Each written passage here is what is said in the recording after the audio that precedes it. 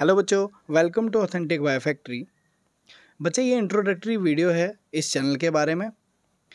इस चैनल में आपको बायोलॉजी के बारे में कुछ बायोलॉजी के कोर कंसेप्ट बताए जाएँगे। तो आज हम बायोलॉजी के बारे में थोड़ा सा जानते हैं। तो ये जो बायोलॉजी शब्द है, ये जो बायोलॉजी वर्ड है, ये एक्चुअल में इसका मतलब क्या है? ये वर्ड आया कहाँ से?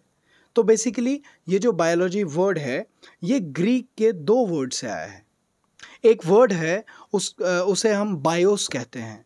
तो बायोस का मीनिंग था बायोस में से बायो आया और इसका मीनिंग था लाइफ मतलब ज़िंदगी।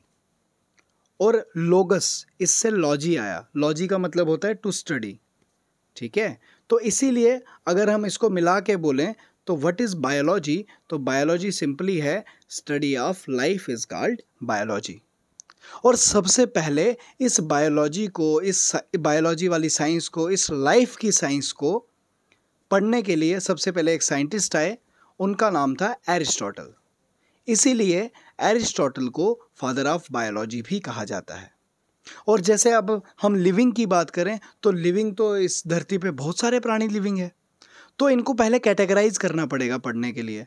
तो जब हम लिविंग को कैटेगराइज करेंगे तो हम मोटे मोटे तौर पे देखें तो हमें दो तरह के जानवर दिखते हैं। एक तो जानवर आ गए, एक पेड़ पौधे आ गए। अब जो जानवर हैं, उनको हम एनिमल्स बोल रहे हैं और जो पेड़ पौधे हैं, उनको प्लांट्स बोलते हैं। तो ये बायोलॉजी की दो ब्रांचेस बन रही हैं।